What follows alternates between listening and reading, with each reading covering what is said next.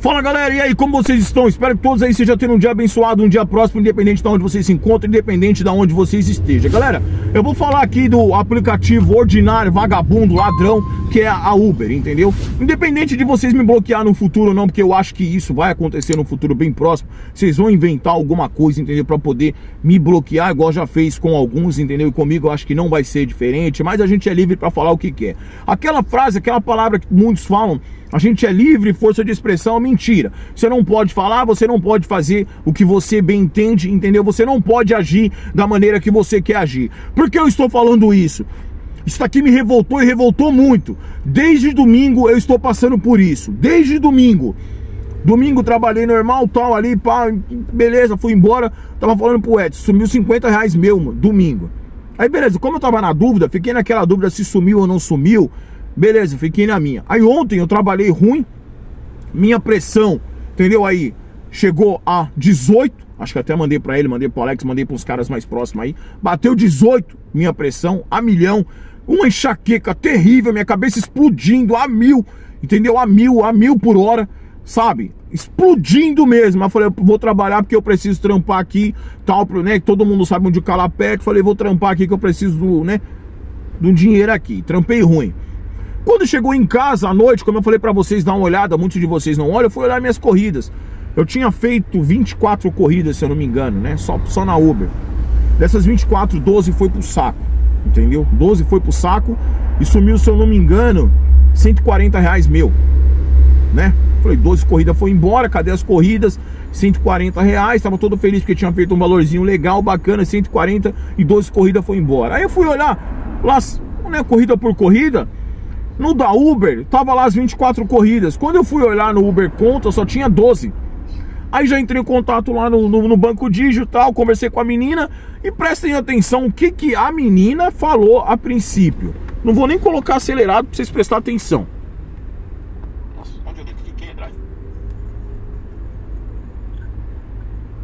A Uber mesmo, digamos. É, Ah, a Uber. Entendi, entendi. Você tá falando com a Uber. Isso, porque no caso o repassa deles, né? Que repassar pra gente, pra gente passar pra vocês, entendeu? Então, no caso, provavelmente eles que se estão segurando. É, Isso. Ah, entendi. É, pra entrar em contato com a Uber através de mensagens é difícil.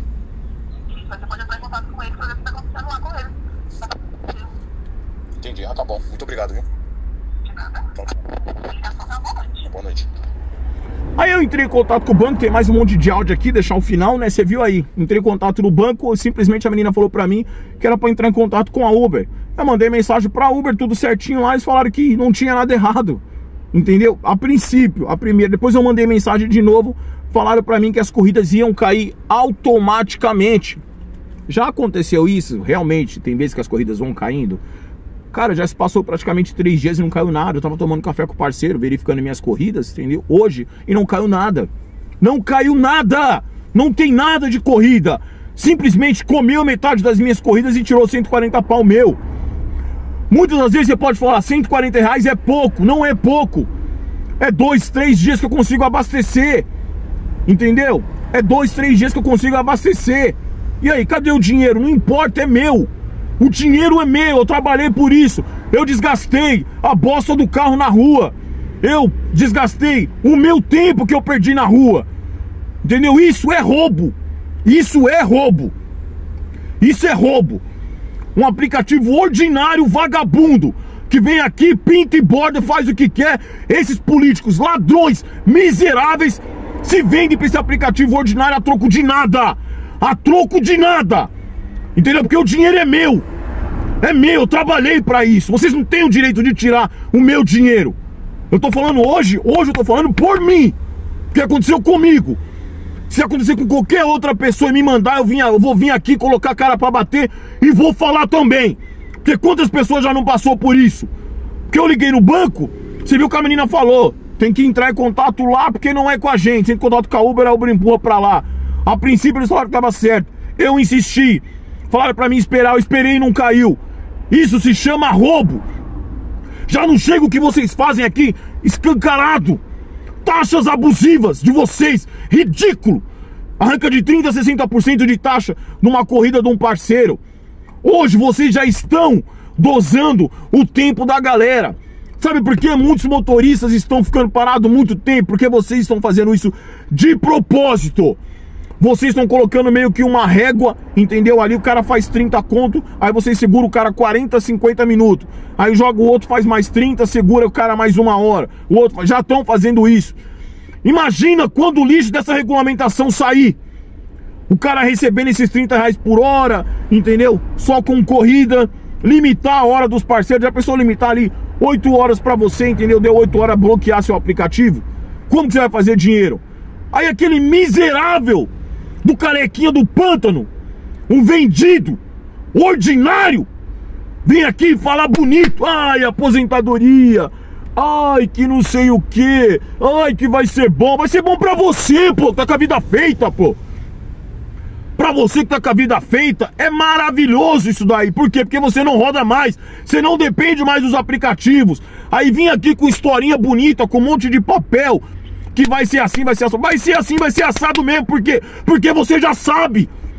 Você já sabe. Você não fez um podcast à toa, entendeu? Com a galera lá. Não foi à toa. Você pensa que vai me enganar? Não foi à toa. Entendeu? Então passaram toda a letra pra você e pra você vir aqui, entendeu? Acalmar a galera. Só que esses bandos de burro, analfabeto, fica batendo palma pra você, ó. Que é um bando de analfabeto, burros, que não consegue enxergar, entendeu? Enxergar o que tá nítido pra eles. É isso. É uma, é uma galera, eu tava conversando com o Alex, tava falando pro Alex, é uma galera que só pensa na grana. Você pega o Shopee, ele tinha que ter vergonha na cara rodar 22 horas, incentivando a galera a rodar 22 horas para fazer milão. Mas tá preocupado com o quê? Com o bolso. É só isso que esses caras tá preocupado. Aí o sindicato tava postando um vídeo, postando isso, postando aquilo, postando um monte de coisa que tava lá pintando e bordando. Agora todo mundo sumiu. Sumiu por quê? Tão com medo do quê, pô? Vocês não colocaram a cara pra bater, não foram lá, agora vocês têm que vir aqui ser homem e assumir a bronca, pô. Mas ninguém assume nada. Aí um aplicativo ordinário vagabundo. Fi... É isso que vocês são. Vocês são um bando de filhos da. Isso. Bando de ladrão ordinários. Vocês tinham que sair daqui do, do nosso país algemado, pô. Algemado vocês deveriam sair daqui cadeia para todos vocês. E não venham aqui encher o saco, ficar com papinho, porque não sai, porque isso, porque naquilo. Todos vocês estão na lama, todos, a grande maioria. 99% tá na lama. Não vem querer pagar de gatinho aqui na internet, ah, porque não sai. Não sai porque não quero. Porque é lindo, maravilhoso você ficar com uma galera que prega uma positividade, que prega isso, que prega aquilo, entendeu? Mas na verdade tá pensando só nisso. Tem tanta coisa que a gente sabe, mas a gente não pode falar, cara não pode falar. Mas se eu tivesse com um canal, por exemplo, igual o do Dark, eu jogava tudo no ventilador. Tudo, mas eu não posso. Não posso, porque tudo é processo, tudo é isso, tudo é aquilo, tudo tem que tomar um pouco de cuidado. Bando de safado, vagabundos. Cada dia que passa a gente vai descobrindo um podre, podre, podre, podre, podre, podre, mas a gente não pode falar, pô. Só que o mais engraçado é igual a gente conversa aqui nos bastidores, que a galera bate palma pra uma galera dessa e tira a gente como mimizento. Olha o idiota lá, incentivando a vender perfume no carro, que não sei o que, que. Ah, pô! Vai dar meia hora de bunda, pô, com o relógio parado, pô! Vai encher o saco de outro, pô! Incentivando, ah, eu arrumo melhor, arrumo serviço pra você. Você arruma bosta nenhuma, pô! Fanfarrão do inferno! Eu tô de saco cheio, cara, mas de saco cheio desse aplicativo ordinário vagabundo, pô! Bando de É isso que você é. Bando de. Olha esses aplicativos. Bando de filhos da. Ladrão, porque o que vocês fizeram comigo foi roubo. Isso foi roubo. Aí o que a gente sai para trabalhar, sai meio desconfiado, entendeu? Toda hora tem que ficar olhando no aplicativo para ver se o dinheiro caiu ou não caiu. Aí se não caiu, você tem que parar e mandar mensagem. E hoje em dia essas mensagens prontas é uma bosta. Que você manda A, eles respondem B. Vocês mandam isso, eles mandam aquilo. Aplicativo ordinário, pô, ladrão. Ladrão roubando a gente na cara dura e ninguém faz nada. Aí vem o tal do governo aí da picanha, dos raios que o parta, que tá pensando na gente, que aí que o motoqueiro usa fraldão, que o motorista caga no banco, que não sei o que, um sensacionalismo barato. O que vocês querem nada mais é do que arrecadar, é imposto. É só isso que vocês querem. Vocês fizeram um oba-oba danado pra fazer uma regulamentação lixo dessa. Uma regulamentação vagabunda que não vai ajudar o motorista em nada, pelo contrário, os aplicativos vão continuar nadando de braçada. Aí também tem um. Aí, pra encerrar, um monte de youtuber também que não tem vergonha na cara. Vagabundos! Cara, o que tem de youtuber vagabundo, cara, não tá escrito, pô. É um que quer vender mentoria, quer vender dedinho de Deus, é outro que quer vender perfume, é outro que quer não sei o que, é outro que tem um link da Rinode. Ah, vai se danar, pô! Entendeu? Vão se lascar, pô! O outro quer vender a câmera, quer sortear. Pô, você quer ajudar o motorista? Faz as coisas de graça, pô! Faz de graça pra ver!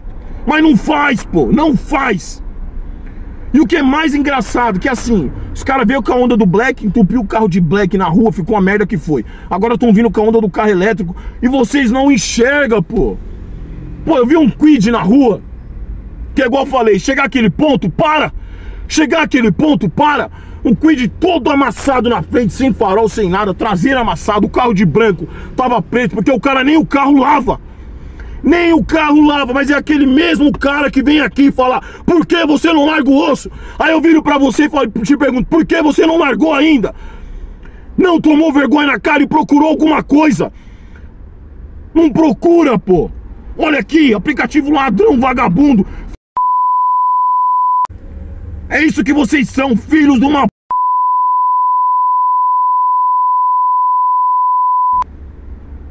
Desgraçados! Olha, eu, eu, tenho um ódio, mas um ódio desse pessoal da Uber. A 99 eu nem falo porque café com leite é um aplicativo que não quer ir pra bosta nenhuma, vai ficar sempre nadando de braçada, entendeu? A Driver também, entendeu? Então assim, só ia resolver se a Uber saísse. Como não vai sair mesmo, porque aqui é onde eles ganham mais dinheiro. Pô, e pra encerrar, vocês tinham que ter um pouco de vergonha na cara, pô. Vocês pegar a corrida de 5,61 5,61 igual o fanfarrão do carro elétrico. Falar que ia pegar tudo, eu pego tudo com o carro elétrico, pô. Você pega o quê, pô? Você pega um tal aqui, ó, na cara, pô. É isso que você pega, pô. Merece segurar você aqui e dar ó, ó, ó, na cara, pô. É isso que merece, pô. Pra aprender a virar homem. Chacoalhar você assim, ó. Chacoalhar pra aprender a virar homem, pô. Pelo amor de Deus. Isso que fizeram foi um roubo. Isso aqui me deixou tão indignado, pô me deu mais força ainda para ir para cima de vocês, assim, ó, sabe, com os dois pés no peito. Eu não tenho a mesma. É o mesmo tamanho que esses caras têm, não tem a mesma visibilidade, mas de pouquinho a gente vai chegando lá. E eu tenho certeza que de uma maneira ou de outra a gente incomoda. E vai continuar incomodando. Bandos de filhos são fanfarrão ordinário. Um bando de Vem aqui, nos rouba e ninguém faz nada. Ninguém faz nada me tirar 120 reais, metade das minhas corridas. Desde domingo vocês estão fazendo isso, pô. Desde domingo, porque nós não pode falar, nós não pode mais fa fazer mais nada. Mas é isso, beleza, galera? Fique com Deus. Um abraço e até uma próxima. E a partir de hoje, um conselho que eu dou pra vocês: tem, tem conta aí no banco Digi, isso, aquilo, terminou o dia, rapa o dinheiro. Rapa e olha, porque assim, é igual eu falo, muitos de vocês não para, não olha não ali não, não, não, não, verifica nada. Comece a verificar, galera, para vocês não caírem num golpe, beleza? Fique com Deus, um abraço e até uma próxima. E parabéns para vocês, bando de ordinários vagabundos, ladrões, como eu sempre falo, vem aqui de terno social e nos rouba e ninguém faz nada. Youtubers safados, vagabundos, entendeu? Que não honra nem a cueca que veste. Políticos que sempre foram vagabundos, ordinários e continua sendo do mesmo jeito e nada mudou e nada vai mudar, entendeu? Por isso que os aplicativos fazem o que faz com a gente. Fica com Deus, um abraço e até uma próxima. Fui!